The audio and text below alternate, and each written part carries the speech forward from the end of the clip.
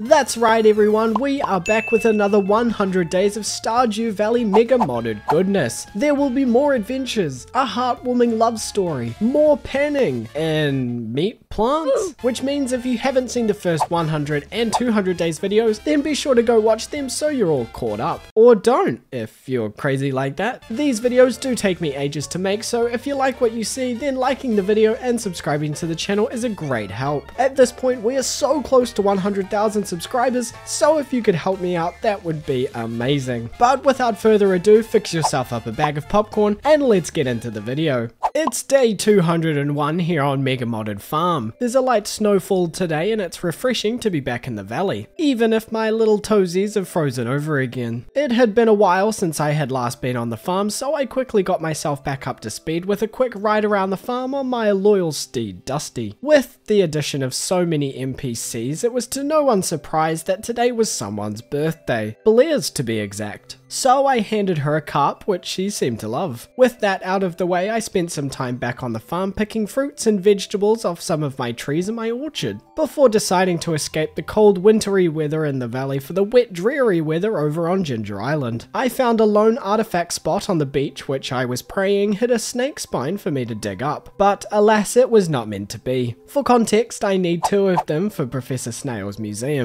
Anyway, I continued around the beach to Mr. Qi's walnut room, but he wouldn't let me in, telling me I needed to find 9 more walnuts to be worthy. So with nothing much left to do, I made my way back to the valley that evening where I spent some quality time with my own brain planning stuff and collecting another batch of ancient fruit wine, which I surprisingly did not ship off, instead opting to store it away for the next market day. And with that my first day back on the farm was over. So let's move on to day 202 already. I started today picking a greenhouse clean of prosperous ancient fruit, which I of course shoved into my kegs located up in grandpa's shed. As I was leaving the farm this morning, I got a quick Kiwi cutscene in which he seemed curious about my farm. I'm not too sure what that was about, but let's just hope he doesn't want to do to me what he almost did to Carmen at the end of the last video. Dusty and I enjoyed the views from the cable car as we ascended the mountain to Ridgeside, where in town I helped Blair scare the living daylights out of Keahi. Remarkably, it wasn't anyone's birthday today, so I decided to treat Dusty to an adventure in the Ridge Forest, where I found a whole prismatic shard just chilling on the ground.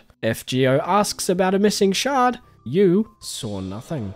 I was here in fact to find a hidden waterfall for a quest I'd picked up during the last 100 days. And quite honestly, it didn't take too long for me to find it. Back down in the valley that afternoon, I popped by the museum to drop off some glass shards, planted a bunch of mahogany trees outside of my fruit cave, and fluffed around until nighttime. As tonight was going to be my chance to finally meet the seer. Now this is a very long cutscene, so let me shorten it up a little bit. This is Belinda. She is the seer I've heard so much about, and she is in pursuit of cleansing the mountain of corruption by finding and opening a portal to the spirit realm. So Bliss, Daia, and Jio all appeared with artifacts to use alongside the relics that I've been collecting in hopes that Belinda can open a portal to the spirit world. She then miraculously gets it open, but then it suddenly closes, and everyone's like, what? Then Belinda has a screaming match with a voice that we can't see, super unproblematic, I'm sure she's fine in the head, and I'm told to meet them again at a later time. Oh, now that was a lot of exposition, which honestly left me with a lot more questions than answers. But as the kids say these days, I just can't right now, so I headed to bed. Luckily it was the market day on day 203, so I was able to take my overwhelmed self to the markets and sell wine all day long. Honestly, I could use a bottle myself, but I needed those sweet profit margins, so I held myself back and spent the majority of the day watching the people of the valley spend their hard-earned money on overpriced items. I also took a quick break to give Caroline a birthday present, and as the closed signs appeared on the market stalls, I had amassed a staggering 321,474 gold in the span of one day. I still had quite a lot of wine left over, so I dumped the rest into my shipping bin. I was tempted to run over to Maeve's to rub it in her face, but I'm a man of humble origins, so instead I just decided to dream about how awesome I am. I woke up on day 204 with the honour of being able to call myself the best market in the world. Who knew selling the same thing over and over again could get me such a prestigious title? Riding on a high, I picked some winter forageables that had grown in my crop fields alongside some mint leaves. I then used those forageables to make more winter seeds which I replanted down in my fields. But today was an important day as it was the Festival of Ice, and for those who have seen the first 100 days, they know exactly a year ago today, this happened. And carved up at the ice fishing competition. They ask you how you are, you just have to say that you're fine when you're not really So you bet it was time for payback. But first I had to watch Tort making snow angels in the snow because god isn't he just the best? Don't you think he's the best ever? I think he's the best ever. You better think he's the best ever. What was I talking about? Oh yeah, revenge. I went to work reeling in fish after fish after fish, and you bet your sweet tushies I was crowned the winner. Day 205 started with a fresh morning ride with Dusty down to Sophia's place, so I could purchase a few iridium sprinklers and nozzles to put on said sprinklers. Unfortunately, you can only buy three at a time, but why was I buying them you may ask? Well, I want to fill up my island farm with ancient fruit soon, and buying them is way easier than spending my precious iridium bars on crafting them. And why am I outside the Adventurers Guild? God, you're full of questions. But I'll tell you, it was so I could pick up the Slime Charmer ring. Inside I found Freddy, who it seemed was an ex-guild member. I was eager to discuss this further with Freddy, but then this happened. So, uh, yeah, quickly moving on. Obviously, that afternoon I found myself on Ginger Island making a start on setting up my new sprinkler system. Lucky me found an artifact spot by the river, and then, I kid you not, this happened.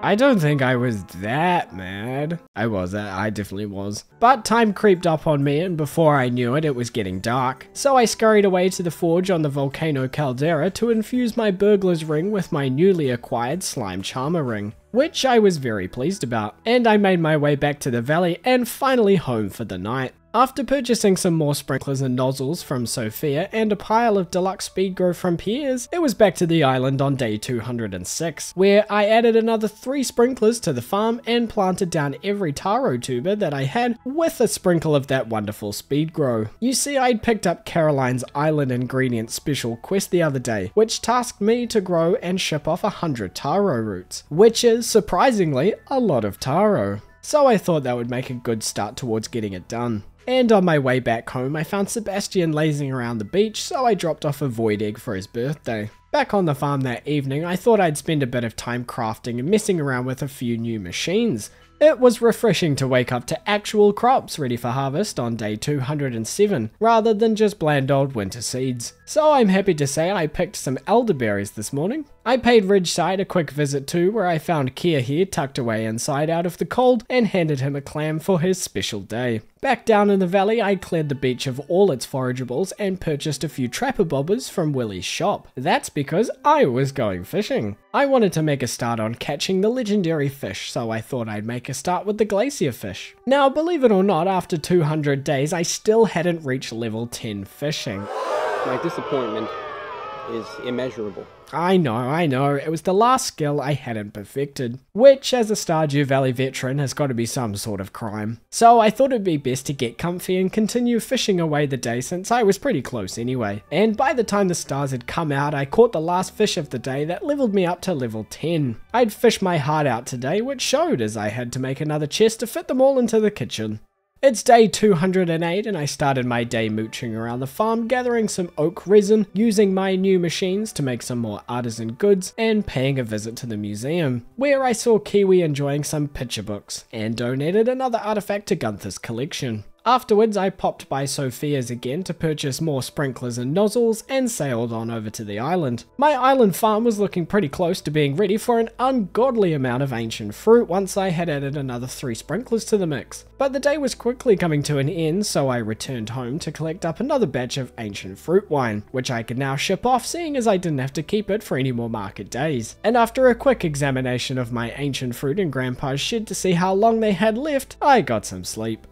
I was ready for a house upgrade on day 209. and chopping down some of the grown mahogany trees gave me enough hardwood to make those wishes come true. I was so ready that I almost forgot to pick my ancient fruit, which I didn't but it does sound very much like something I would do. I got my house upgrade from Robin shortly after, which I was very excited about, and paid Sophia's place another visit to buy some more sprinklers and nozzles. This is the last time, I swear, I'm going cold turkey. Because back on Ginger Island, I dabbled around with the layout and was able to optimize it having four sprinklers all the way across. I told you there would be an ungodly amount of ancient fruit. Content with how it was all looking, I returned to the valley where I, no joke, stumbled across Andrea again. This time she had shapeshifted into a box by the bus stop. Can anyone else see this or is it just me? Do people think I'm just talking to a box? Like what? I just, I don't get it. Hysteria aside, I found myself back at Ridgeside that night where I saw Irene and Zayne getting their nervous flirt on.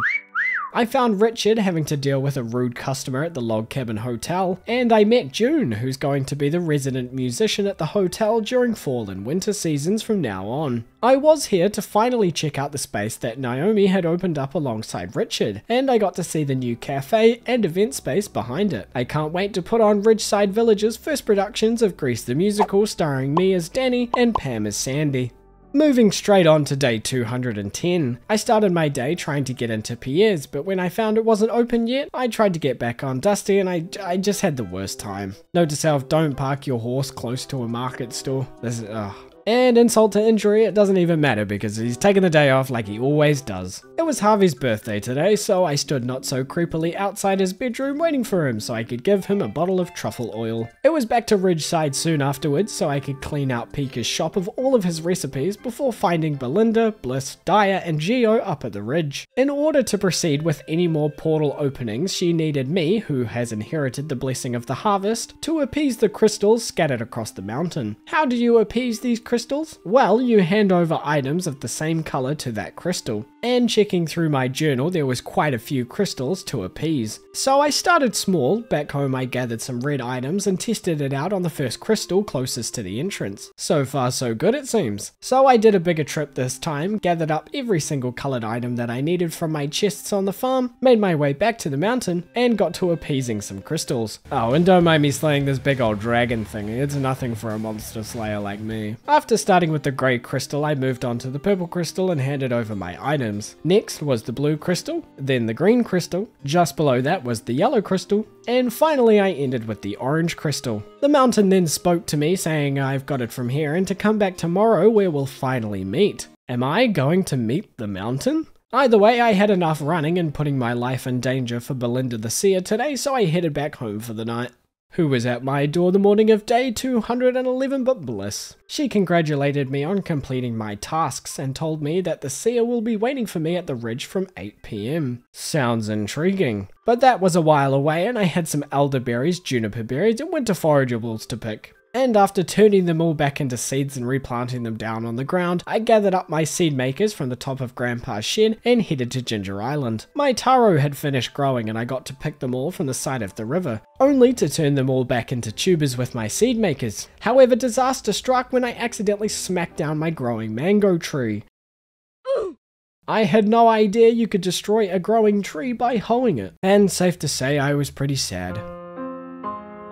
But by the end of the day, I managed to plant all of the taro, so that's some good news at least. From one end of the valley to the other, I managed to race Dusty up to the ridge just in time to meet with Belinda. She worked her sorcery and as dazzling as it was, she disappeared in search of the mountain spirit. So we followed her to the west part of the ridge. We came across a beautiful lake with waterfalls everywhere, and it's here that we were introduced to Ray Rela Ray Ray Ray Ray Ray Yala Yala you know what? That name is too hard to say all the time. I'm just gonna call her the Mountain Spirit or Ray. So it turns out that Ray and Belinda are in love. Aww. More importantly, she explained that the corruption around the ridge has been caused by an evil entity called Gabriella. Long story short, they need someone to go into the spirit realm to stop her. Belinda can't go because she was once corrupt herself and fears that if she goes again she may turn evil. So of course it's up to me to stop her. And for that to happen we need to open the portal with even more powerful relics from around the ridge. Oh and also my grandmother died to save the valley from Gabriella's corruption too, so hey I guess it's time for some vengeance. It was a lot to take in, so I headed home ready for a good night's sleep. I woke to a bigger house on day 212. Did that happen overnight or... Uh, you know what? It doesn't matter. I was back to Ridgeside this morning as I had a couple of gifts to give out. Firstly, one to Blair as she is the marriage candidate you all voted for in the poll I put out not so long ago. I promise I won't go rogue this time. And one to Louis for his birthday. While I was there, Maeve showed her first sign of kindness to me by offering me the chance to take out a bank loan for half a million gold. And if I do, they'll deduct 10% of my shipped goods until I pay it back in one full lump sum. Thanks, am I right? It's a weird gift that I think I'll never use, but I think I'm starting to thaw away at Maeve's cold heart. Back down in the valley that afternoon, I met with Alicia at the Adventurers Guild before heading to Ginger Island. And you'll be excited I did because it's time to bring back this video's first episode of Panning with Poxial!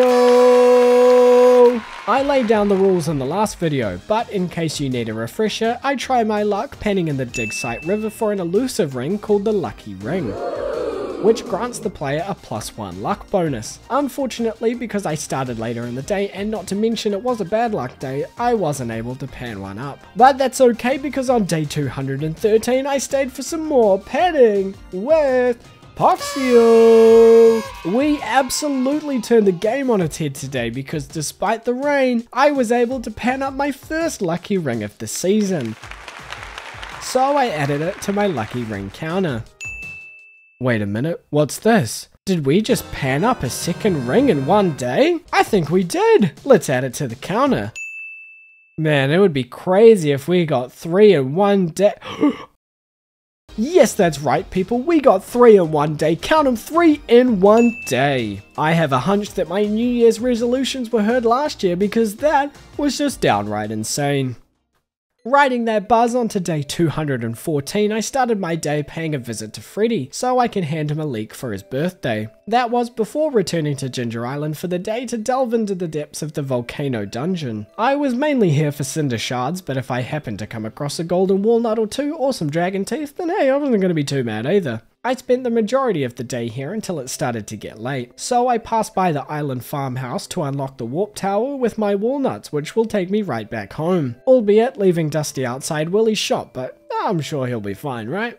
My inkling was right and Dusty had made it back home to me on day 215, and after picking some more elderberries and juniper berries from my crop fields, I used my nexus to warp myself to the Adventurers Guild, where I gave Marlon a birthday gift. I then spent some time back on the farm setting up my slime hutch. The poor building's been sitting there for a while looking pretty useless, so I thought it'd be better to get it up and running. I gave it the usual makeover, all there was to add was the incubators, but that would have to wait as next on my to-do list was to buy a shed from Robin's. When you're about to grow as much ancient fruit as I am, you need somewhere to kick it all, and sheds make the perfect storage, so you'll be seeing a few of these pop up soon. As for the rest of the day, well, I did check up on my taro on the island farm, bought a ridiculous amount of deluxe speed growth from Pierre's, installed three incubators into my slime hutch, and shipped off another batch of ancient fruit wine all before calling it in for the night. Day 216 was all about the ancient fruits. Now that I had both the greenhouse and grandpa's shed producing fruit, I was in a good position to start planting them on my island farm. Of course I couldn't miss Granny Evelyn's birthday though, so I made a quick detour to hand her a gift. And then I raced off to Ginger Island. For the rest of the day, I cycled between hoeing and watering the dirt, turning the ancient fruit I had into seeds with my seed makers, and making sure every spot had a sprinkle of deluxe speed grow. It was a very long day of hard labour under the island's sun. I had filled up about two thirds of the farm. I honestly thought I'd get this done today, but it was going to be a pretty big job. As day 217 rolled around, I continued to work away, finishing up what I couldn't get done yesterday. Turns out I didn't have enough fruit to fill out the whole farm anyway, but we were pretty close, so that would have to be finished off next week. Speaking of finished, my taro roots were ready for picking, so I got to harvest them from the riverside. Although I had made the unfortunate realization that I only had 92 taro to ship away. I'd picked enough to meet Caroline's criteria, but you also need to ship 100 of it. So I had to make a quick detour home, pick up some taro tuber I had lying around, and plant some more down back on the island farm. I still had enough time to grow them, let's just hope I don't forget about them. As evening fell, I managed to find Pika browsing the market stalls to hand him a birthday gift before collecting the fruits and vegetables of my labour from the orchard. I even found it so peaceful that I thought it'd be nice for Dusty and I to chill out there for a while before bed. My fields, bountiful of winter forageables, was a wonderful sight to wake up to on day 218. You know how this works? I'll just skip to the part where I'm planting them all down again. I found my way to Ginger Island this morning with my lucky ring in hand, and that was so I could infuse it with my iridium band up at the forge. My day just kept on getting better as Mr. Qi decided I was deemed worthy enough to enter his infamous walnut room. Here is where I can pick up quest which rewards Qi gems which I can use to buy rare and powerful items. But I wasn't interested in all of that nonsense, no, I wanted another shed. But I was disappointed to find Robin was in fact not working today. When it dawned on me that today was Community Day. Ah, stupid Community Day. I don't want to work because I want to hang out with people to celebrate the community center and not let Poxtail get any of his work done. Sorry, I don't know what came over me then. Anyway, with buying a shed out of the question, I just spent the rest of the night with Dusty, doing our classic fluffing around the farm shenanigans. Day 219 began with a morning ride to Aurora Vineyard, for two reasons. One, to give Apples a starfruit because he's adorable, let's not deny facts here. And two, to conjure up another warp point to add to my Nexus, which went very successfully may I add. However, upon return to the forest, I stumbled my way into Sprite Spring. I got into a conversation with two forest sprites named Klaus and Angelica, who claimed this area of the forest is magically protected so no one can find it. Feeling very special, I crossed the spring where I found flowers blooming on the other side. As explained by Klaus and Angelica, they're seasonal flowers. I even found a secret cave under the waterfall and picked up some goodies from inside. I thought I'd make good use of my time here and fished up a meteor carp and a golden fish to tick them off the fishing collection. All before finding Leah in her home to hand her some goat's cheese for her birthday. Before bed that night, I incubated a few slime eggs in the slime hutch and vowed to give my animals more hay tomorrow. Leah visited the farm on day 220. I think the birthday gift was so good that she decided to make me a sculpture for it. This morning had me running around doing some admin work. I made my way back to Sprite Spring so I could conjure up another warp point for myself, purchased some hay from Marnie just like I had promised yesterday, commissioned another shed to be built courtesy of Robin, and I even put my trash can in for a copper upgrade. 800 hours of Stardew Valley and I think this may be the very first time I've ever upgraded my trash can. As for the afternoon, well I thought I'd have a bit of fun creating some more machines. And realizing that I had quite a few machines left to make, I thought a good idea would be to relocate my normal machines to a new spot opposite the silo, which I finished up as night came. Oh, and I added a path to it. Come on, I'm no savage. Day 221 started with an odd experience picking iridium. Never thought I'd say those two words together, but here we are. Being close to the turn of the seasons, I noticed the animal area was lacking on grass, so I filled it in with some more, before heading into town for this year's Feast of the Winter Star. My person this year was Jodi, so of course I handed her over a nice diamond. My secret gift giver was Lola. Let's see what I got. Let me see, let me see. Well, it could be worse. Could also be a lot better. Just when I thought my day was over, I got a surprise visit that night from our friend Camilla, who it seems just kidnapped me from my own doorstep. We arrived at my Nexus, and after having a cheeky go at how her Nexus was better than mine, she said we had some important business to attend to, and she teleported us once again. Suddenly, we were atop a tower in the middle of a desert that stretched out in front of us for miles. I quickly found out that we were in the Crimson Badlands, home to hordes of monsters, lightning, sandstorms, and void zones. So I made one of my signature warp points in case I wanted to come back. I don't, by the way. And I was returned home soon after. You'd think with all of these new places, the Highlands, the Mountain Ridge, the Crimson Badlands, that maybe one of them would be filled with nice things like candy and lucky rings and gold. But no, of course they're not. They're filled with monsters and horrible things. Before I get carried away, let's move on to day 222. I had a couple of birthday gifts to hand out this morning, but before I could do that, I offered to lend a helping hand to Pika since the staff were running late. And at the Heaps convenience store, Shanice, Kiara, and I had Lorenzo on about Shanice being pregnant. I was here in fact to hand Shanice a birthday gift. However, my other present had to be taken back down into the valley, and I actually don't know how I missed this. It's Clint's birthday, and I ride straight past him. In what world could I have been in to miss that? Either way, he eventually got his gift. I was a bit lost as to how to spend the rest of my day, but I did eventually pick up my fishing rod and head out to catch some fish to add to my collection, which included the mutant carp legendary fish, a radioactive bass, a water grub, and a slimejack. There was another joint birthday on day 223, and with my weekly ancient fruit ready for another harvest, today was really going to test my time management skills. So I began by wandering through my greenhouse and grandpa's shed picking all of the ancient fruit before dealing with the birthdays, and dropping off a fairy rose to Sophia and a ridge wild apple to Irene. Quick sidetrack, I saw Louis playing with Keahi and Trinnie outside. Not that it was intentional, but I think it's sweet. Anyway, back to business. My next stop was the island farm where I finished off planting down all of the ancient fruit in batches, as I wanted to keep as much as I could for winemaking. Speaking of, the last thing I did before bed that night was exactly that. And here we are on day 224, the final day of winter. The morning was spent on chores like picking some berries from my crop fields, intruding on Shiro's sleep schedule with a birthday gift, picking up my copper trash can and getting a steel upgrade for it straight afterwards, and commissioning a big shed upgrade for one of my newly constructed sheds. Back on the farm, I utilized the rest of my day for decorating my orchard. Now that all of the trees had grown, I could lay out paths and grass without fear of stunting tree growth. And there certainly won't be any more to buy later on, isn't that right? It took up the whole afternoon, but once evening fell, the orchard was taking shape quite nicely, and I was very happy with how it was looking. It wouldn't be the final day of winter without the Ember of Resolutions festival now, would it? Just like last year, I put my piece of wood down and watched the bonfire come to light with everyone, praying that everyone's eyebrows stay attached, and also praying that I didn't just use all of my lucky ring luck on that one day. Before we head into year 3 though, Grandpa had to come and visit me in my slumber to tell me how proud he is of me. Aww. Now go away because I'm scared of ghosts.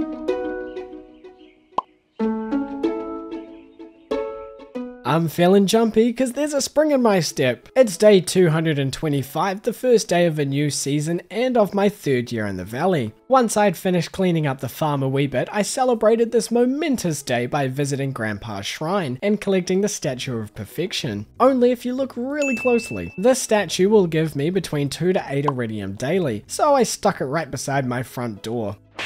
Speaking of momentous occasions, it's our favourite tortoise's birthday today, and my god you bet I came prepared. On my way to him I stumbled across Andrea rocking that Louis Vuitton box look. I was pleased to say that Tort loved my birthday gift.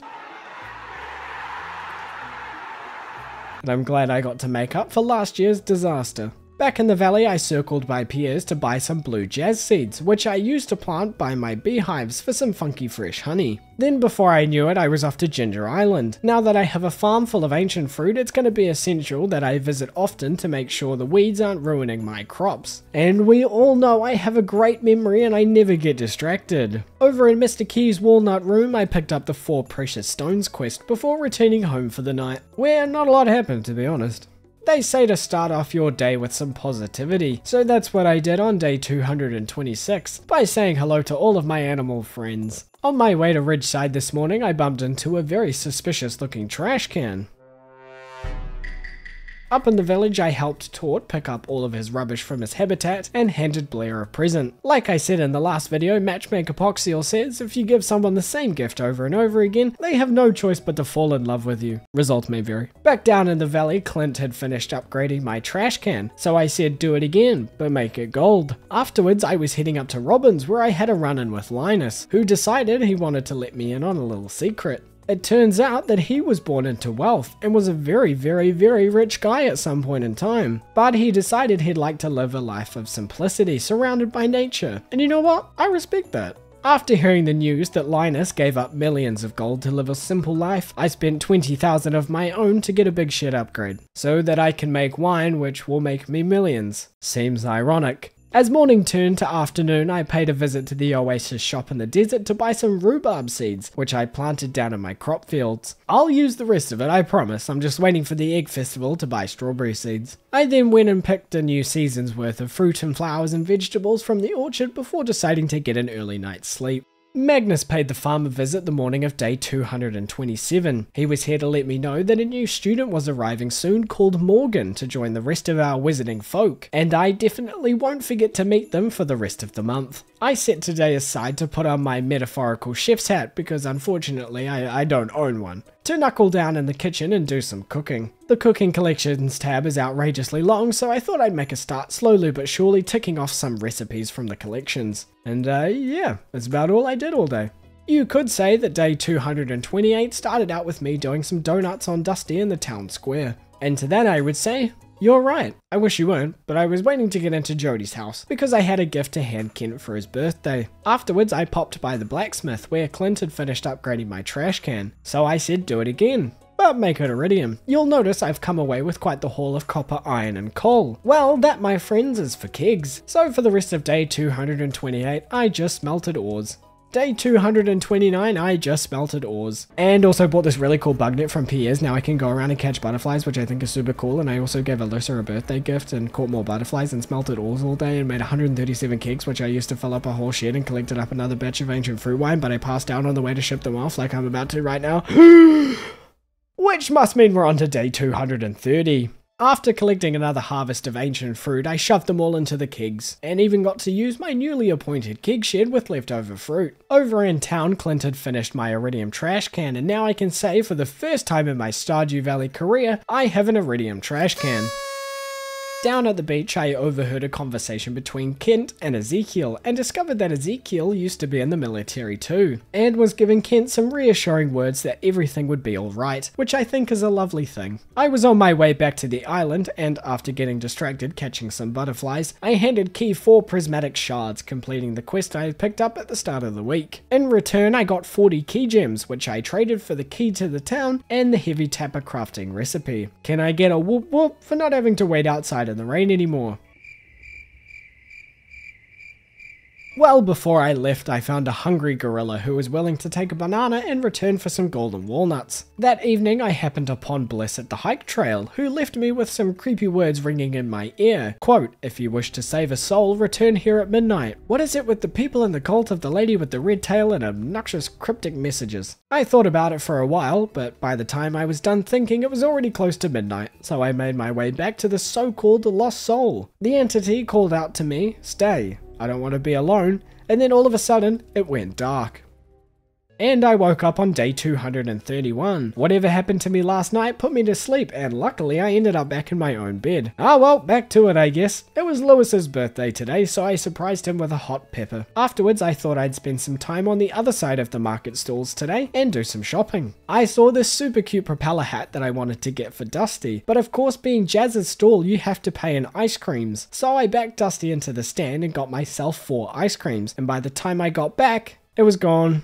I was literally gone for 10 seconds. Whoever took Dusty's hat, just know, I will find you, and I will kill Instead, I had to settle for a party hat. Not as cool, but he still looks handsome. That afternoon, I checked up on my slimes to see how my hutch was progressing and picked some flowers at Sprite Spring before returning to the hike trail greenhouse, because I was certainly after some answers as to what happened last night. Luckily, Bliss was waiting for me outside the cursed greenhouse. She told me I wasn't in any danger, but that the greenhouse was stuck in limbo between the spirit realm and the physical realm. I was still curious, but she said no more questions and to return here at midnight. Well, who am I to argue with magical beings? Dusty and I took a breather overlooking the valley for a while to pass the time. With midnight fast approaching, I headed back to the greenhouse and headed on inside. The trapped spirit explained to me that they had failed to complete a challenge, and if I finished their tasks, then the soul would be set free. I looked at what I had to accomplish and it wasn't too bad 25 mountain mist blooms, 10 sweet gem berries, and 5 rubies. However, it was getting late, so the task would have to wait for another day. I took my first trip out to the Crimson Badlands on day 232, not to go exploring as such, just to give Lance a bottle of aged Blue Moon wine I'd picked up yesterday for his birthday. Then I was off on a boat ride across the sea to Ginger Island. This was so I could whack the weeds away from my precious ancient fruit and pick up another special quest from the Keymeister himself. That afternoon I found myself up at Ridgeside for a special occasion. You might remember from the last 200 days that Lenny had asked Alyssa to sing in front of the town, and that day was was finally here. The turnout was great, and as you can see, the crowd was loving it. As for the rest of the day, I just wanted to see if I could find one of those nine relics I needed to open Belinda and Ray's Spirit Realm portal. So I quickly scoured the book in Geo's hut to get an idea of what I was looking for. Yet my efforts came up short and I wasn't able to find not one relic today, so I headed to bed that night a little disappointed. Day 233 is a new day, however, and it began with a visit from Marlon, who asked me to drop by the guild to discuss something. Before I could go and discover what that juicy piece of gossip could be, I had to totally not creepily wait outside Anton's door to hand him a birthday gift, which he didn't seem to mind. And downstairs in the store, we found out that Anton was Lorenzo's brother, who seems to be quite the alcoholic and rubs Lorenzo the wrong way quite often. I also saw Shanice help Trinnie reach something for the top shelf, and I concluded that I have a sneaky feeling that Shanice wants one of her own. But that's not my business to get involved in, so instead I made my way to the Adventurers Guild. I met with Marlon, who told me Lance has an outpost in the Highlands, and his boat could take me there. But it wouldn't be that simple, oh no no no. Marlon wanted me to give him monster parts in return for the boat service. Who knows what a grown man wants with 300 monster parts, but you all know by now I'm not one to argue. Back home I collected everything Marlon had asked for, and in no time at all I was back at the guild handing it all over to him. Now now we wait, I guess. In the meantime, I paid the Junimo village a visit to purchase a few rare seeds, picked some produce from my orchard, and bought a ridiculous amount of recipes from the saloon. And I mean a ridiculous amount, there must have been at least 50 recipes just sitting there for me, but at least my cooking collections tab was looking a bit more full. Continuing straight on to day 234, Marlon was back at my door to say the monster parts were satisfactory and the boat was ready for me. Let's go on an adventure. We rode the boat past gushing waterfalls and serene gullies where we ended up docking at the Highlands. We met with Lance outside of his post and we headed inside to discuss matters. His research had told him that the monsters around the Highlands drop crop seeds, so it was my task to collect these seeds and grow them and report back to Lance. So out I went into the Highlands I found my way to what looked to be the start of a mountain pathway, and sure enough, the further up I went, the more confident I felt. Just ignore the void over there, I don't know what happened about that. I found my way to the top and battled it out with a very beefy dinosaur. Eventually I came out on top and took my loot back down the mountain, where I came across a lake with lots and lots of monsters to slay. Eventually the monster numbers ran low and I had some time to fish in the lake where I caught myself a daggerfish. The adventure continues on to day 235 though. I noticed a large cave entrance yesterday as I was climbing the hill and that's exactly where I was heading. Inside the cave was filled with ores and equally so, monsters monsters. Ultimately, after some time, I managed to make my way to the end of the cave where I found a lone dwarf who seemed to be trapped between a rock and a hard place. Get it? Because he's in a cage in a cave, trapped between a rock and a hard place. Oh, come on, that was, that was a good one. Well, luckily I did have the key already with me thanks to yesterday's slaying of the dino, and I was able to set him free. To make use of the rest of the day, I thought I shouldn't let all of this good ore go to waste, and mind as much of it as I possibly could before passing out inside the cave in the early hours of the morning. It was back to reality on day 236. I had adventured myself out, so it was quite nice to indulge in regular day to day things again, such as giving Ezekiel a birthday gift and starting the mysterious Mr. Qi questline, which requires you to insert a battery into this power box, put a rainbow shell into this box by the railroad, put 10 beets into Lewis's fridge. Oh wait, these are rhubarb, not beets. Oh, come on Poxial, get it together. I took myself out to the desert to buy some beet seeds, which I ended up planting on Ginger Island alongside 10 sweet gem berries, and one of each monster crop seed I had gathered from my highland exploring. On my way home that night, I found Blair to hand her another cup before gathering up my ancient fruit wine, dumping it all into the shipping bin, and getting some sleep. Day 237 happened. Yeah, sure, I got to re-keg all of my ancient fruit. And yeah, sure, I finally got to buy my strawberry seeds from the Egg Festival. And yes, I participated in the egg hunt, which went really bad this year, and I ended up losing to Abigail. And no, I don't want to talk about it. I'm boycotting all future egg hunts. Anyway, here's me planting my strawberries before bed. Okay, let's just move on already. Come on, let's go, move on. I had a couple of birthday gifts to give out this morning. I even found Maeve by the cable car, and she gave me praise for how I was doing. Well, looks like someone had a change of heart, and I had an incredibly difficult time trying to get Haley's present to her. I accidentally gave out two coconuts to other people. Stupid market day. But we got there, eventually. Then it was back to smelting ores for the rest of the day. It's day 239, and after blessing Olivia with a gift for her special day, I thought I'd try my hand at exploring the Crimson Badlands. Truth be told, I shouldn't have, but here we go anyway. I met with Alicia and Isaac before heading out, and Isaac gave me one look at the map before snatching it away and leaving me to it. So with the map fresh in my mind, I headed out into the hellscape that is the Crimson Badlands. Instead of exploring though, I opted to do a bit of fishing because what fun is there in a except fishing? Heading west, I began racking up an army of red serpents. I like to think of them as such because it's less scary than them trying to kill me. As I hit the western canyon wall, I turned around and whipped my sword out to send them all to the Shadow Realm. But with more coming, I retreated into the canyon, where, of course, I had to keep fighting for my life. In an unfortunate turn of events, I thought I had this mummy on the ropes until it hit me once with the power of a hundred freight trains, and I died. Luckily, Camilla was there to save me, and I ran home with my tail between my legs. To make up for the disaster that was yesterday, I thought I'd spend day 240 back on Ginger Island for another episode of Panning with Poxial. It was going to be hard to follow the absolute madness that came before, and today was very evident of that. Unfortunately, I wasn't able to pan one up, but we did get a bunch of other goodies instead.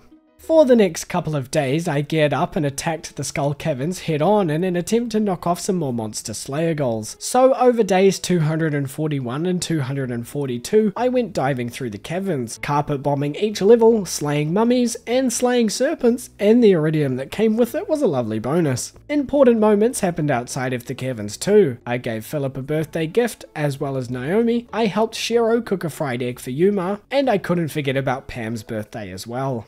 I was rewarded for my hard efforts on day 242 as I completed both the Pepper Rex Monster Slayer goal and the Mummy Monster Slayer goal too.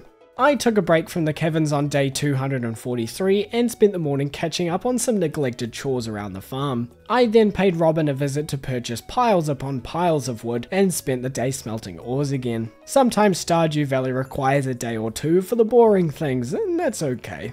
Plus, after all the time I'd spent in the Skull Caverns, I had ores coming out of my ears, so I thought I might as well make good use of it. It all paid off later that night when I could place down 120 kegs into my other keg shed. And being a Friday night, I had a batch of ancient fruit wine to collect up and ship off before sleepy times. Which meant on day 244, it was back to picking fruit from the ancient times. But today was exciting because of the simple fact that I had a crop of ancient fruit ripe and ready to be picked on Ginger Island. It shouldn't be a surprise to anyone that I filled up all of my kegs afterwards and still had a mountain of fruit left over, which I shipped off for some extra cash. That afternoon, I popped into town to drop off a birthday present to Shane before returning to the farm and working on my soon to be obelisk area. I've had the idea for a while now to have this grassy area across the bridge as my obelisk area. I'll be honest, I wasn't a big fan of how it was looking, but I'm sure creative inspiration will strike at some point or another. You hear that? That's the sweet sound of free labour. I mean, happy Junimos consenting to picking my strawberries for me. Speaking of sweet sounds, get a load of this. Disgusting, yet surprisingly satisfying. I had a problem to solve on day 245, and Robin was going to help me with that. I wanted my keg sheds closer to Grandpa's shed, so I didn't have to travel across the whole farm each time I wanted to use them. And I was just able to squeeze them in in front of the fruit cave, including a third and final keg shed. Later in the day, I found Blair wandering the market, where I gave her another carp, and afterwards I tried to envision the perfect obelisk area.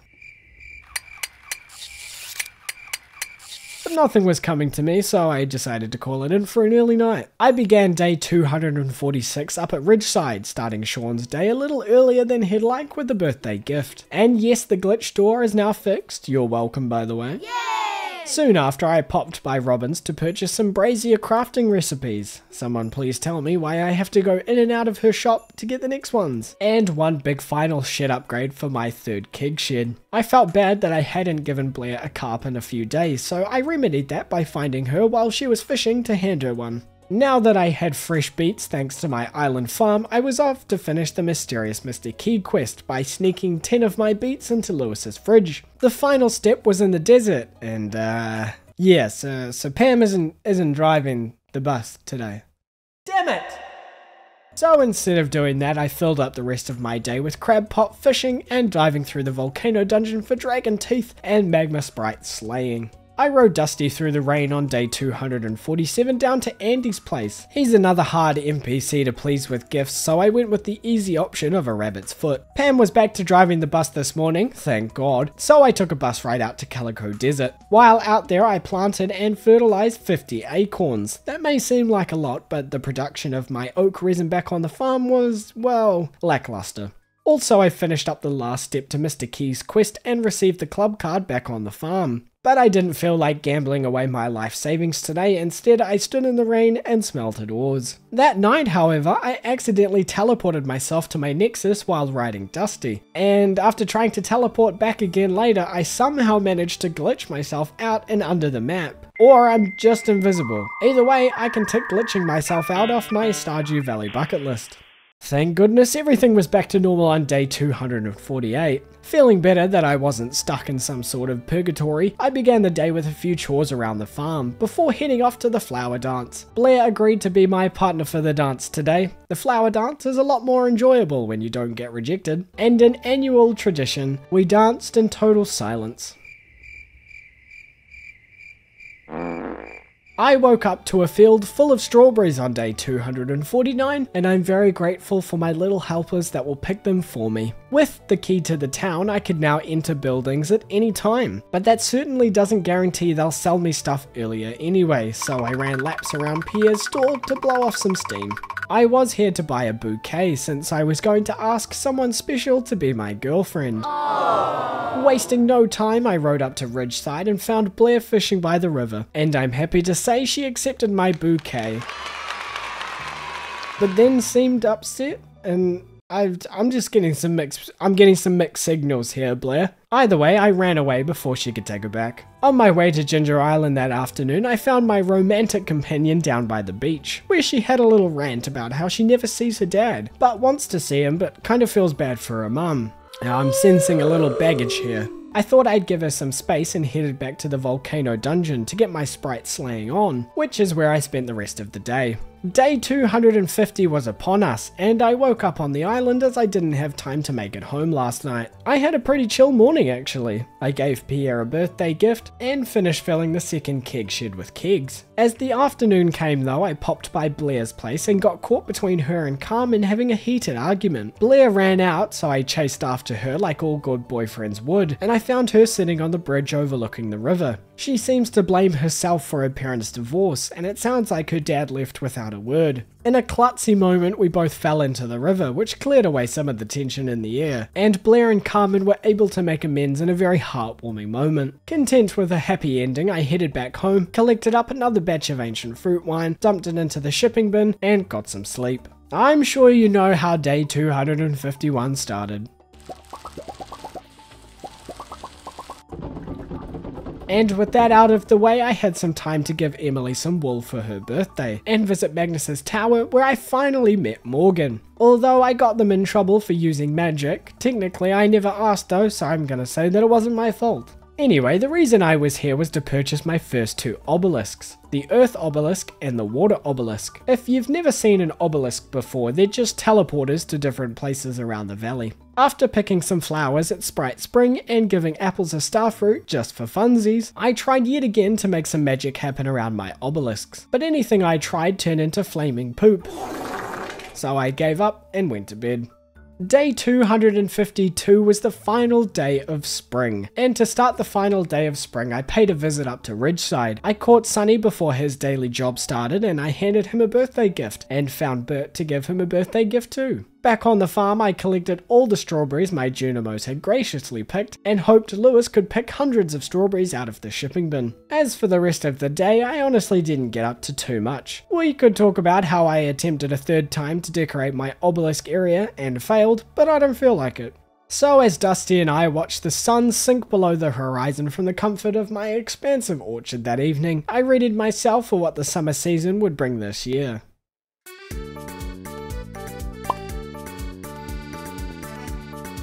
Get your eggs out and cook them on the pavement because it's summertime. I'd highly recommend cooking them in the pan though, just FYI. That's right, day 253 marks the first day of summer in our third year on the farm. And to start this wonderful day, I planted down some summer spangle seeds by my bee houses and a bunch of blueberries in my crop fields. Afterwards, I went in search of Bryle and found him coming out of Blooming Hill Farm to hand him a birthday gift. As I left, I wondered if Jeric still wanted that best farm competition, because I think I'm going to obliterate him. Back on the farm that evening, I had to clean up a bit of the farm from the change of seasons and went to bed after a very successful first day of summer. Moving right along to day 254, it started back at Ridgeside waking Blair up with a stinky carp and hopping into bed with Freddie and Lola to give Lola some mayonnaise as a birthday gift. I think the key to the town has really let me break boundaries with some people. Fearing the worst, I took a boat ride far, far away to the island of Ginger. My sweet gemberries had finished growing, so I collected them for a trapped soul quest. And my last monster crop had grown. Lance will be very pleased. That would have to wait though, as I was here to slay some more magma sprites. And with a bit of monster musk, I spent the day diving through the dungeon, putting my galaxy sword to work as I went, which is how I spent the rest of my day. Day 255 was a similar story. Lance seemed stoked to receive the monster crops.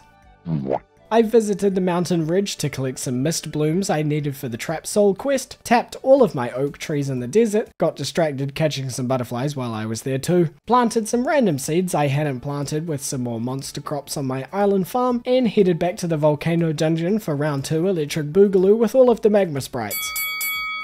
But my hard work paid off because I ticked off the second to last monster slayer goal. Day 256 began with a quick warp to Sprite Spring to pick some flowers before finding Jazz at Marnie's ranch and handing her a fairy rose for her birthday. However, the metaphorical chef's hat came back out of retirement today, and all I did was whip up some stellar dishes that rival even the likes of Gordon Ramsay and Jamie Oliver, which uh, I did for the whole day. So we're moving on to day 257, I guess. Lance was waiting at my door this morning. He told me the monster crops were quite fascinating, and he hasn't stopped studying them. For my efforts, he left me a reward at the outpost. I'm sure I won't forget about this. Sometimes as a Stardew Valley player, you need to keep organized, and for a lot of today I spent it digging through my chests and doing a bit of reorganizing. Also, with a grove of fruit, nut, and vegetable trees on my farm, I was running out of chest space. So after a bit of thinking, rejigging, and moving things around, my brain could rest easy knowing everything was in order. As the night fell, I gathered up my weekly batch of wine, 450 bottles by the way, which I shipped away before bed.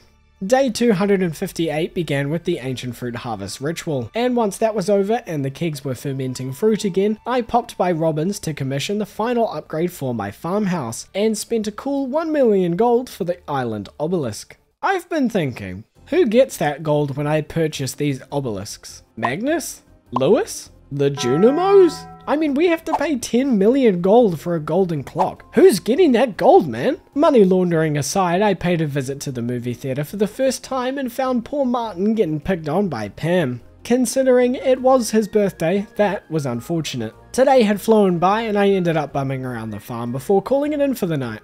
I called upon the rain gods as soon as I woke up on day 259. Honestly, I can't remember why. I woke Blair up with another stale fish this morning and I am hoping she doesn't get cold feet as a result of my antics. That didn't seem likely though as soon after I found her before leaving the village where we danced our troubles away. Aw, isn't that just the cutest thing you've ever seen? With my mind giddy on love, it took me a bit to figure out what to do. But eventually that afternoon, I remembered about my crab pots in the mountain lake and went to restock them with bait. As for the rest of the day, I tended to my animals, picked some fruit and beef jerky from my orchard, and apples in return for a starfruit gave me a rock. I'm not making that up. He actually gave me a rock. But you can't be mad at that cute face now, can you? I, no joke, stood waiting outside Gus's bedroom for half of day 260. Some people call it persistence. I call it pettiness. Also, I remembered why I needed it to rain today, because I needed to buy a mermaid's pendant. That's right, people, since the wizard couldn't teach me how to love, I found out how to do it all on my own. Aww. And I'm happy to report she said yes. I was a very happy boy. Afterwards, I circled by the ridge to collect the last of the mist blooms I needed to free the trap soul. All there was left to collect was the rubies. And uh, yeah, that's about it for today. I found Olga the next morning on day 261 pottering around Nightingale Farm so that I could hand her a birthday gift before taking a bus ride out to the desert and spending the day back in the Skull Caverns. I was here for two reasons and two reasons only. Rubies and serpents. It took a while, but in the later hours of the day I picked up the final ruby I needed to collect for the trapped spirit. Not only that, but I also slayed my final serpent soon after that and ticked off the final monster slayer goal. Carrying on to day 262, I found my slime hutch full of slime balls again, and god it's just so grossly pleasing, I don't know what it is. Over in town I rode Dusty over to the museum to drop off a rusty cog I'd found yesterday, and bought a bunch of grass from Pierre's before heading up to Robin's, because it was Maru's birthday. And what better way to celebrate than with a big old juicy strawberry. Since I was there, I thought it would be fun to paint a few of my sheds and other buildings on the farm. Happy with the colours I'd chosen, I returned to the desert, this time to collect 50 oak resin from my forest of oak trees. I used the grass starter I had bought earlier to invigorate my animal area since they had absolutely mowed through the grass this year. Once that had been sorted, I made my way back up to the mountain ridge. Yeah, for a bit of foraging, sure, but I really needed a few more spiritual essence for the ridgeside obelisk. So I was here for a while, just slaying monsters. However, I did stick around as the clock struck midnight. With everything collected, I was eager to see what was to come of the trapped greenhouse spirit. So I entered the greenhouse at midnight and was relieved to say that the spirit was now at peace. Bliss came by to tell me that the spirit was an old caretaker, and that the hike trail greenhouse was now free for me to use. But it was past my bedtime. I think I'll have to solve that problem another day. Day 263 started with a trip through my Nexus to Magnus's place, so I could purchase the Ridgeside Obelisk. Yes, it does look different from the others, you'll just have to put up with it like I had to. I'll admit today was a little less exciting than yesterday, but I did make some progress working on the obelisk area. I just ignore me accidentally teleporting myself to Ginger Island, I just totally meant to do that. But I liked where this was going more than anything else I'd done so far, so I'll take that as a win. And to make life easier, I placed down two mini obelisks, one beside the farm point and the other below the obelisk, so it's all one easy network. But it was late, and I was very proud of today's work, so I didn't mind showing off a little. It was the specialist of days on day 264 as it was mine and Blair's wedding day. Take that, Rasmodius. After giving Faye a birthday gift, I thought I'd celebrate our wedding day with a special treat for Blair, that being a date to the movies. Ah, I'm such a gentleman. But first I had to commission another shed to be built. Don't worry, don't worry, there won't be any more kegs. This one is for crystallariums at some point in the near future. And then it was off to the movies with the newlyweds. I even got her a star cookie. We caught a screening of the Journey of the Prairie King movie, and I'm happy to say Blair loved both the movie and the cookie. After the movie finished, I didn't have much to do, so I fluffed around the farm waiting for my wine to be ready. Which by the evening it was, so I collected it all up and dumped it into the shipping bin before heading the hay. It's day 265, and once again it's a Saturday, so there's really no surprises as to what I'm up to this morning. By the time I'd finished shoving the kegs full of ancient fruit again, just over a third of my day was already gone. It takes a lot of hard work to be this rich. So with the rest of it, I gave Kiara a birthday gift, purchased the fifth and final obelisk to my collection, played a beautiful mermaid melody to secure a few more golden walnuts, gave Alex a birthday gift, and rode Dusty around the farm like a lost little puppy. What did I do on day 266? Well, I spent the morning giving Flora a birthday gift, and I parked Dusty by another stall and regretted everything. Ah, seriously, this, this is just hard to watch. The afternoon rolled around and I split the bottom section of the farm into two for decorating purposes later on, and added some more grass around the obelisk area, all before hitting the hay early. It seems I wasn't very motivated today. But that's okay because over days 267 and 268, I found the motivation to go full on decorating maniac mode. With Blair now residing in the farmhouse, I felt a little bad that I hadn't done any interior decorating. So I got to work making our dream home. And after hours and hours of work, okay, maybe like half an hour real lifetime, it was done. I want to yell, move, that, boss. Anyone get that from Extreme Makeover Home Edition? Anyone say that? No? Oh well. Anyway, here's the house. We're on to funny number day, plus 200. I started this magnificent day by planting some tea saplings in my newly constructed tea room, before riding Dusty into town. Here I gave Sam a cactus fruit for his birthday, and I was going to play the claw machine to get some plushies for the kids room, but the claw machine hog was there. With that plan out the window, I took a bus ride to the desert instead, so I could gather another round of oak resin. And now that I had kegs on my mind, I had to pop into Clint's to purchase piles of ore to smelt into bars, and of course Robin's for a bunch of wood. I made sure to buy an excess of copper so that I could make another 12 furnaces, which will make the ore smelting process a little quicker. Speaking of, it's day 270, and after handing Kenneth a strawberry for his birthday, I spent all day ore smelting. It was kinda nice not to have anything on today, very relaxing. Luna, on the other hand, seemed to have a different idea of what relaxing meant.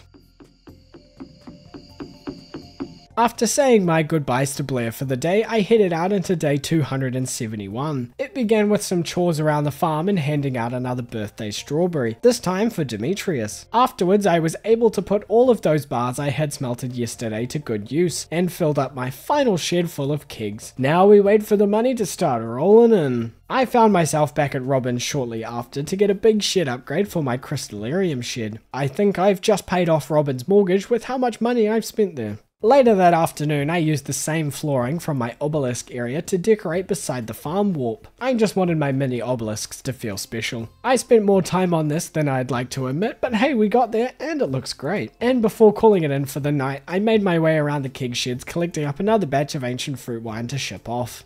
No surprises, I was back to picking a sea of ancient fruit yet again on day 272. After that had been sorted, I hauled a load of geodes I had been hoarding over to Clint's to watch him smack them all open. You'd think I would have done this much earlier, but I guess not. Gunther then probably pooped his pants seeing how many donations were coming in. And trust me, there were a lot. Sticking with the decorating theme that evening, I put aside some time to decorate outside the Crystallarium shed. I kept it within the same theme of the rest of the farm and it turned out quite nice actually.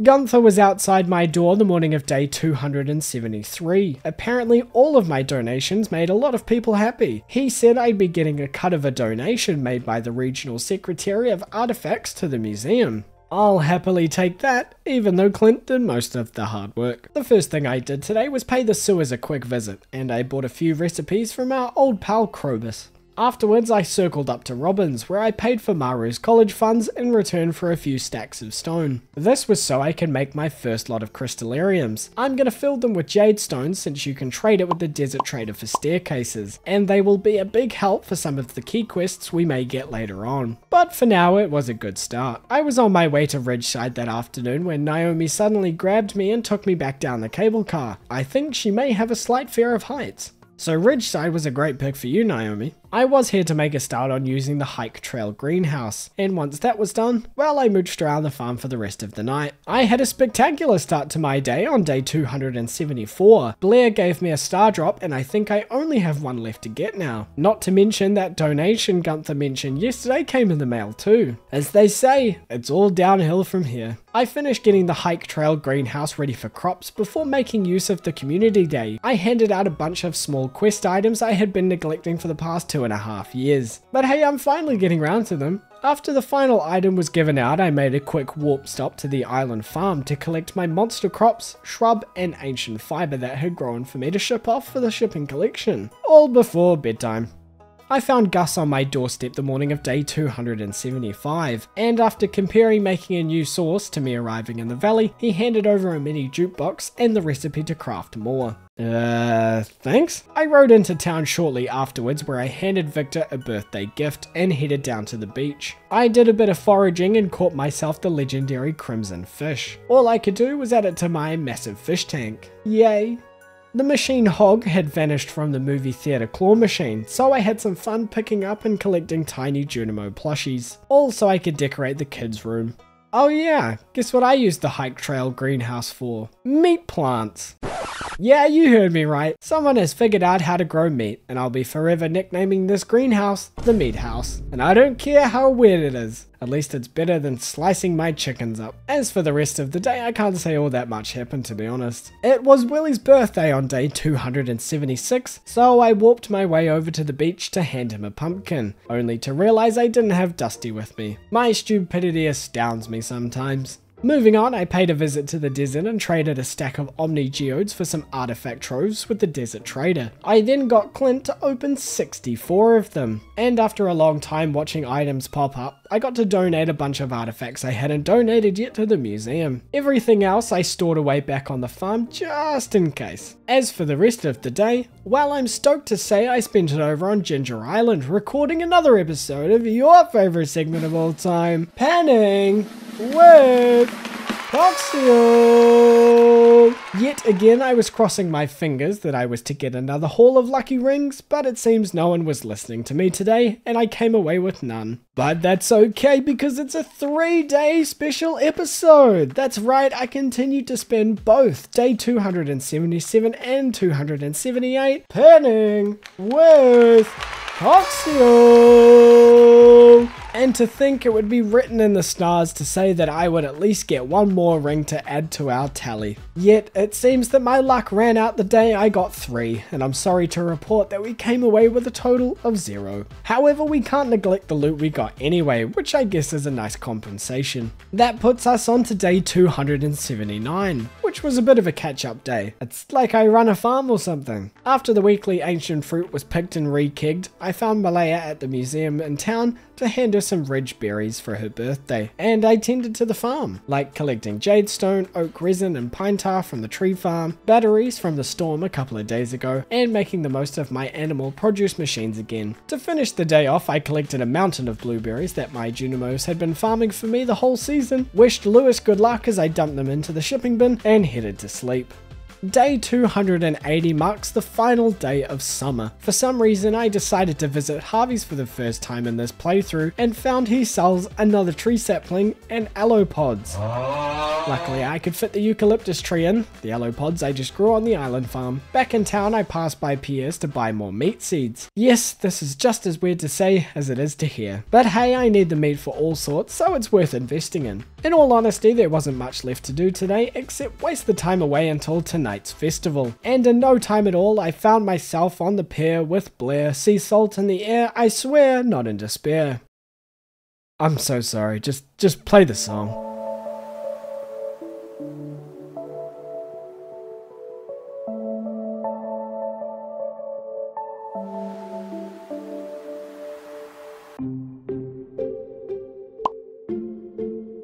Watch out for that ledge, cause you might fall.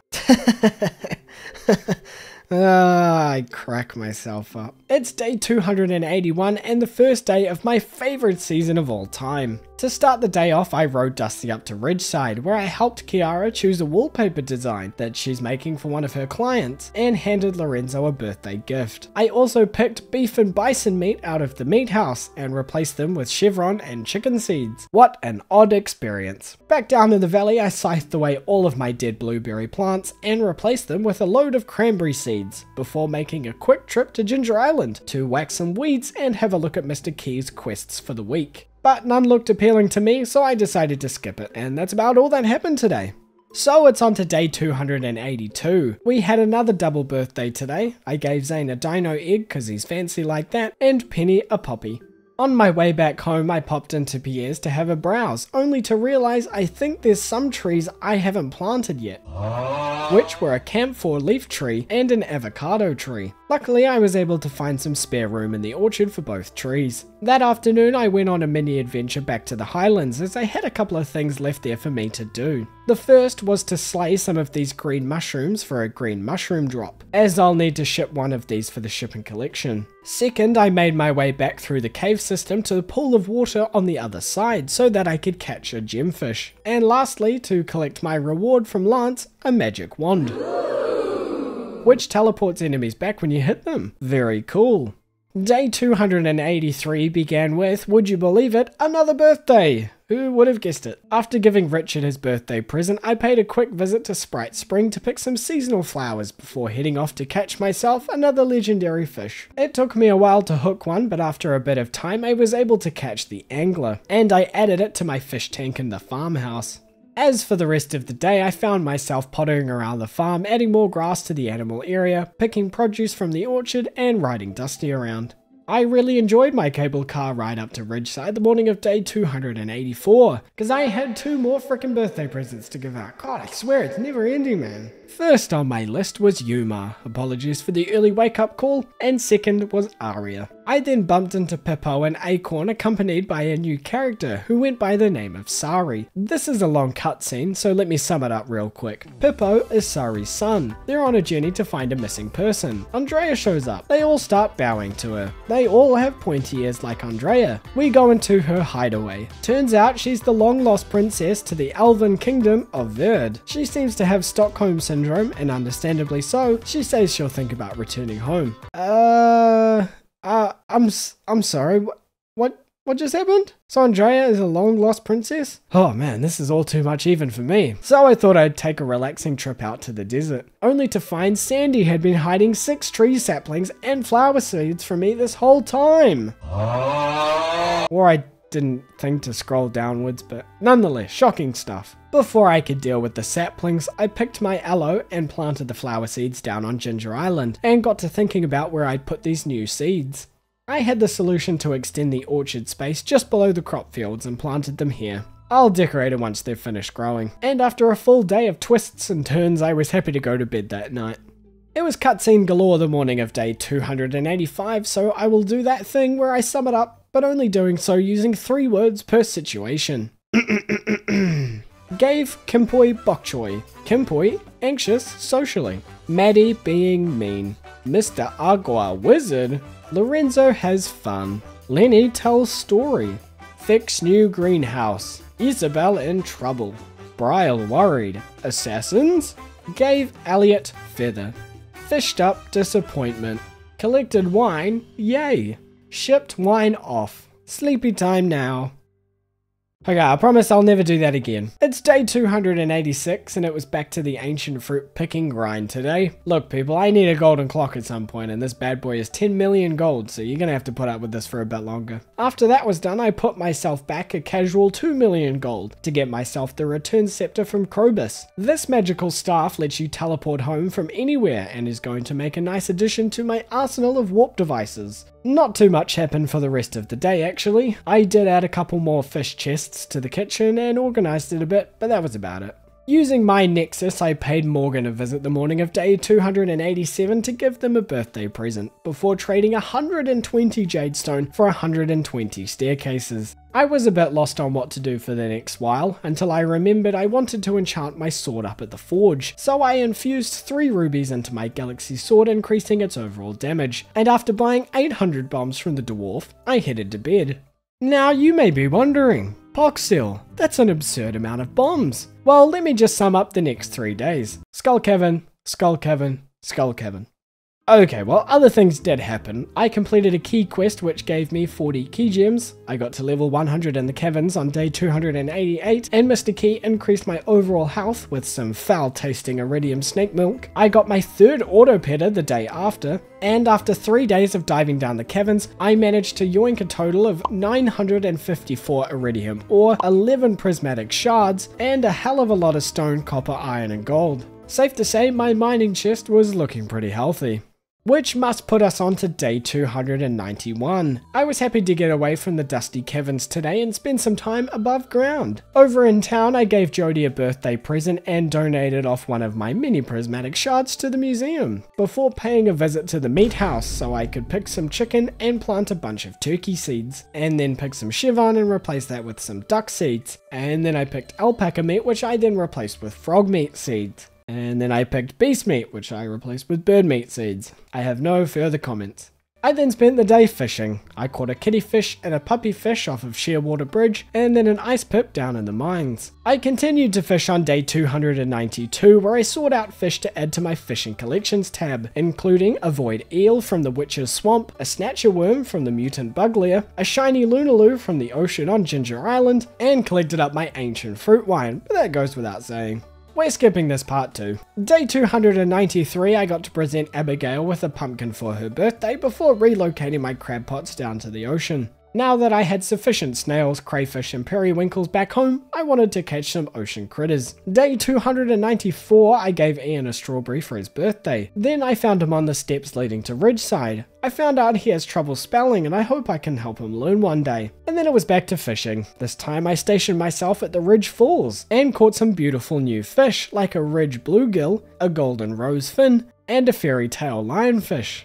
I let off some steam on day 295 waiting for Sandy to open her shop. Or I'm just going insane. Either way, I got to give Sandy a crocus flower for her birthday before paying a visit to the island farm to pick some flowers I'd grown. And I picked up the 4 Precious Stones quest for the third time. Come on Qi, mix it up a little bit. One quick stop back home meant I could store some flowers away and return to Qi with 4 shards, which gave me another 40 Qi gems. I had quite the haul now, so I spent them on a horse flute and a couple of Junimo chests. The chests I placed down on both farms, and the horse flute lets me summon Dusty anywhere at any time. Now that is very cool. That afternoon, I made 24 more crystallariums, which I placed down in my shed, planted some pineapple seeds and rice shoots down on the island farm, and put honey, wheat, and hops into kegs I made to make mead, beer, and pale ale. I had a nightmare on day 296. I was revamping the sheds with torches and spicing them up with flooring and walls, you know, to give it some more pizzazz. But I accidentally trashed my catalogue by accident. So of course I went into town to get another one from Pierre's, only to forget it's the Valley Fair today.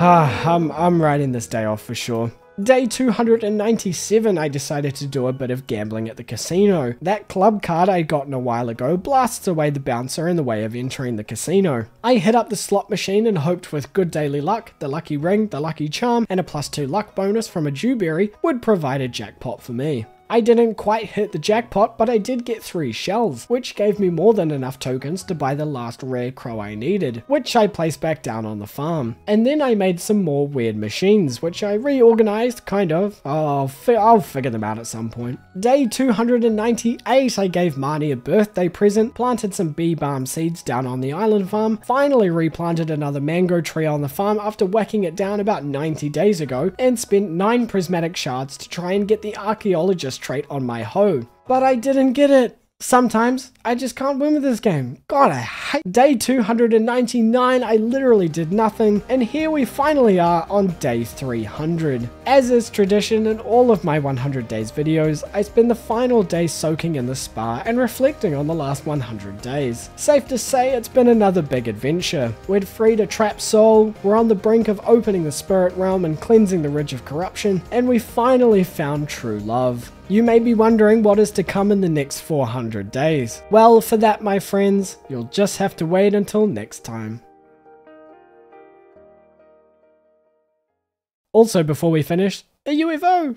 Well, there you have it everyone, that has been 300 days of mega modded Stardew Valley. Here's a look at the farm thus far, it is certainly an upgrade from this time last year. If you have made it this far, then I just wanted to say thank you, and if you did enjoy, then I'd appreciate you liking the video and subscribing to the channel. I'm so excited to continue our adventures in the next video, but for now all I can say is, you're all wonderful people so have a wonderful day, and thanks for watching!